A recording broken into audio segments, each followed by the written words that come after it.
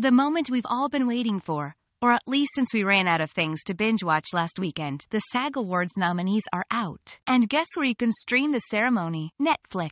Because what else were you going to do on February 24th at 8 p.m.? So, Streisand, ever heard of her?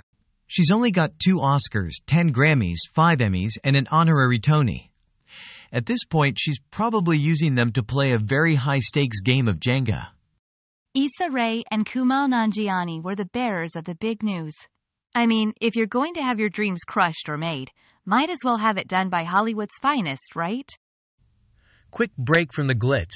Trump's winning South Carolina. Navalny's situation gets more Hollywood by the minute.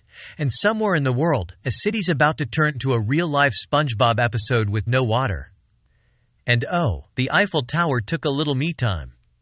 Back to our regularly scheduled programming. Don't forget, the SAG Awards are streaming live on Netflix. So, so popcorn, fluff those pillows, and prepare to silently judge the fashion choices from the comfort of your couch. It's like the Super Bowl for people who know what color chartreuse is. See you there!